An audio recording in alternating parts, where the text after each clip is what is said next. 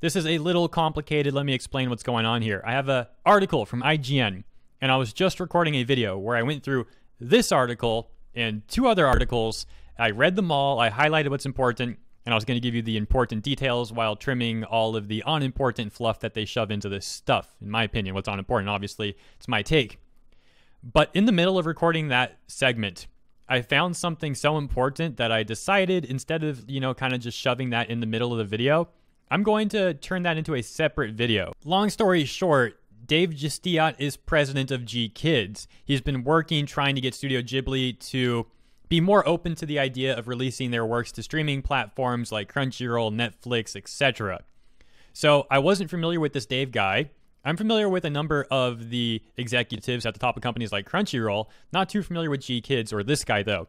So I looked more into him and I found this bio at projectanime.org. If you want to read more about him here, you're more than welcome to. The point that I want to get to is I noticed his Twitter bio down here.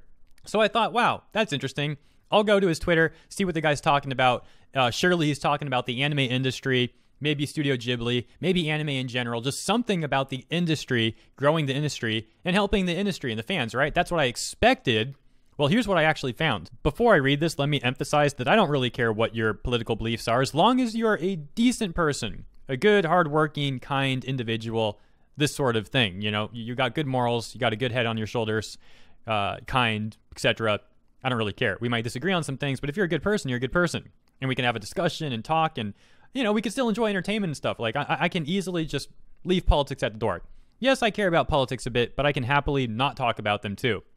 I see so many people at the top of the Western anime industry, like apparently Dave here, who just screech about politics 24 7, and they're always so angry. This guy has explicit language in this tweet. I had to redact it so I could even talk about this uh, right now. So he's complaining about the president, he's complaining about a certain political party, and let me show you something else. The guy retweets stuff like this. I guess this is supposed to be a joke or a meme or something, but it's a very bigoted one. Openly attacks religious people and says to do something to our Lord that I'm not even going to repeat. Sorry if you're audio only, but I just can't repeat this one, man. And this is retweeted from Dave Jesteadt. I came to his Twitter expecting a nice discussion, interesting tweets about business, anime, the industry, GKIDS. You know, maybe I'd learn more about GKIDS from his Twitter or something. Nope. What I what I met with is uh, yelling about politics and openly retweeting very bigoted things that attack religious people. I mean, this is disgusting stuff. And yes, I get it. It's supposed to be a meme about Neon Genesis Evangelion and NERV and all that. But full stop. If this meme was pointed a different direction, absolutely the account who posted this would probably be banned off Twitter. The meme would probably be deleted. And maybe you'd have some articles even talking about this, you know, crazy incident that occurred on Twitter or something like the whole nine. But since it's framed this way and it's going after this group of people, it's okay and it's got almost 15,000 likes, and you can have the president of GKIDS, you know, happily retweeting it on his public Twitter profile. That's all totally fine, right? You probably don't need me to remind you, but there are people like this at the top of so many of these Western companies that really are owned by mega corporations. A lot of them are subsidiaries. Companies like, you know, Rooster Teeth, not an anime company, but more anime related, Crunchyroll, Funimation, apparently GKIDS, where these executives openly make very bigoted remarks going out and attacking people, and you know they get away with it. It's totally fine for them. Kind of starts to seem like the Western anime industry is a lost cause. Maybe it really is. I don't know. I, I, I try to acknowledge the good, as I've said in other videos. You know, at least uh, at least some of these Japanese companies are seeing more success than they would have.